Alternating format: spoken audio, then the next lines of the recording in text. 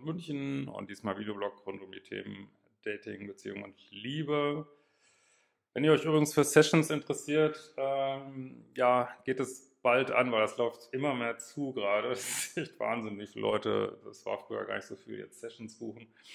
Ähm, genau. Und ähm, wollten mal hinweisen, dass es noch, äh, ich glaube jetzt noch 14 Tage, kann man deutlich vergünstigt in meine Leadership-Ausbildung einsteigen. Ist ja auch eine schöne Sache für, was vielleicht ja immer wichtiger wird, Online-Arbeit. Ähm, für Einzel- und für Paare könnt ihr da von meinem Wissen profitieren. Geht jetzt in diese Grundausbildung und die Advanced, die sollen ja live gemacht werden. Ist gerade natürlich ein bisschen schwierig. Ja, heute, also ihr könnt übrigens gerne Fragen schicken äh, an, äh, könnt auch an support.liebeschiff.de Fragen schicken, müsst ihr dann dazu schreiben, bitte im Video beantworten oder noch viel besser über ein Formular, über das Kontaktformular auf liebeschiff.de. Ja, ähm, heute haben wir das schöne Thema, du musst es nur, in Anführungsstrichen, deiner eigenen Seele recht machen. Was heißt das? Ähm, also ist natürlich ein Aufruf zur Selbstliebe. Ähm, also ich glaube, das Thema Liebe war schon immer wichtig, wird immer wichtiger werden. Und ich hoffe, das kommt rüber in meinen Videos, äh, dass ich denke, äh, ja, also Liebe, also erstmal ist immer die Frage, ist das wirklich Liebe, gerade in toxischen Beziehungen? Ähm, vielleicht auf eine ganz schräge Art ja, im Sinne von, wir bringen uns gemeinsam weiter hier mit äh, vielleicht einem Seelenvertrag oder keine Ahnung, aber äh, auf so einer, was man eigentlich mit Liebe meint, ist es glaube ich nicht so. Ähm, aber das, das suchen wir natürlich, ne? Und was man, glaube ich, immer wieder lernen darf, ist, dass Liebe ähm, eben nicht das, was wir immer so in Hollywood-Sendungen sehen oder auch äh, in vielen anderen Filmen, Liebe ist eben nicht äh, dieses, ja, weiß ich nicht, toxische Spannung oder nur Sexualität oder leere Sexualität oder äh, manipulieren, äh, übers Ego arbeiten. Ja, das ist eben nicht, ich meine, irgendwo ist alles Liebe, aber so im engeren Sinne ist es nicht Liebe. Ähm, und ja, also es ist manchmal, denke ich, weder Liebe für einen anderen, noch ist es vor allen Dingen Liebe für sich selbst. So, ne? Man denkt immer, man äh, liebt den anderen, vielleicht liebt man den auch, aber auch da müsste man überlegen, also manchmal denke ich, ähm, ist es auch für Partner manchmal besser, man würde sie verlassen. Also nicht, weil man ihnen einen reindrücken will, sondern weil man ihnen eine Chance gibt, weil sich weiter zu, zu entwickeln und auch das Feedback gibt, so geht's nicht, so kannst du einfach einen Menschen nicht behandeln und so. Ähm, aber gut, äh, ich komme schon wieder ein bisschen ab. Also ja, Liebe ist wird immer wichtiger und es geht eben nur mit Selbstliebe. Selbst wenn ich meine, ich liebe meinen Partner, ist es äh, ein verkrüppeltes Konstrukt, wenn ich mich selber nicht liebe und die Gleichung damit vollständig mache. So.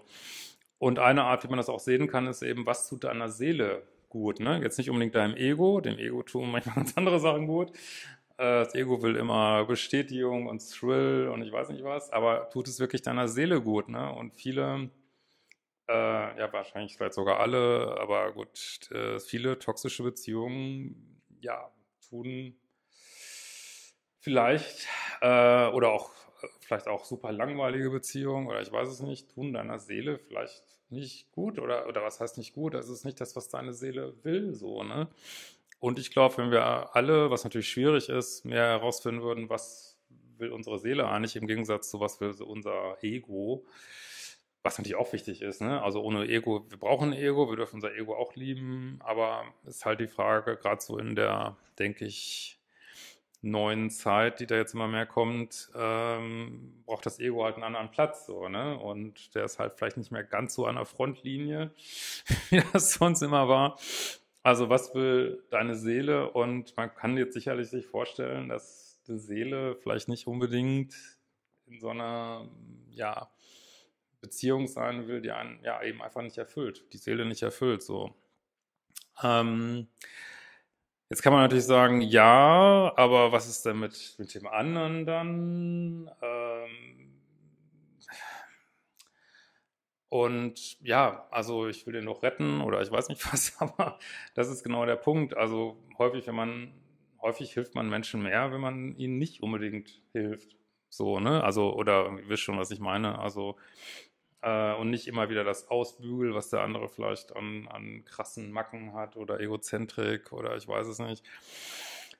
Ähm, also das würde ich mal überlegen, ist das wirklich das, was meine Seele will? Und jetzt denkst du vielleicht, ähm, ja, aber ist das nicht egoistisch? Aber es ist eben nicht egoistisch. Es ist seelenistisch vielleicht, aber es ist eben nicht das Ego. Also wenn es dir gut geht, dann geht es auch deinem Umfeld gut, dann geht es auch deinen Beziehungen gut. Und wenn, wann geht es dir gut, wenn's da, wenn, ja, wenn du immer mehr das machst, was deine Seele eigentlich will. Und das ist eben, eben gerade nicht egoistisch.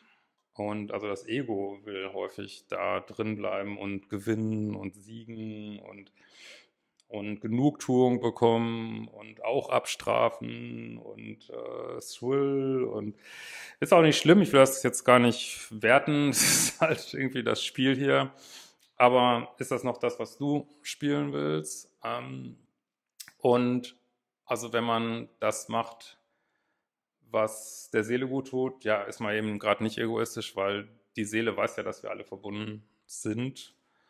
Und äh, ich glaube nicht, dass deine Seele jetzt irgendwas gut findet, was irgendwie weiter dieses Nullsummenspiel ist. Wenn es mir gut geht, dann geht es dir nicht gut, sondern äh, ich glaube, es geht gerade darum, dass wir aus diesem rauskommen, dass es so entweder mir geht's gut oder dir geht's gut, sondern dass wir hinkommen, hey, wir alle können irgendwie vielleicht erreichen, dass wir in so eine Energie kommen von, es ist genug für alle da irgendwo, ne? Auch genug Liebe oder auch genug Beziehungen oder hört sich jetzt vielleicht ein bisschen utopisch an, aber auch das ähm, will ich gerne mal weiter explorieren, so in meinen Kursen, dieses, diese Macht der Gedanken, ne? wirklich mal groß zu denken und nicht immer nur dieses kleine Denken, äh, ich, entweder ich überlebe oder du überlebst oder, also in Anführungsstrichen, oder ich setze mich durch oder du setzt dich durch oder oder wie kann ich den anderen am besten manipulieren, sondern eher so ein Denken von, gibt es da nicht auch eine Energie, auf die wir einen Zugriff haben, ja, wo wir, wofür alle genug da ist, sag ich mal so, ne? weil ja in uns selbst auch so viel ist, aber das dafür braucht man wiederum die Selbstliebe. Gut, das war jetzt vielleicht alles völlig konfus oder vielleicht auch nicht, vielleicht konntest du was für dich rausziehen, würde mich freuen. Ich übe immer noch hier in die iPhone-Kamera zu gucken, nicht so einfach. Ähm, und ja, gibt es sonst noch irgendwas? Ich erwarte, dass ihr kommt zur virtuellen Neumond Liebeschip Party am äh, Freitag, 16.10. um, ich glaube, 19.30 ganz normal YouTube live. Und wir werden uns bald wiedersehen.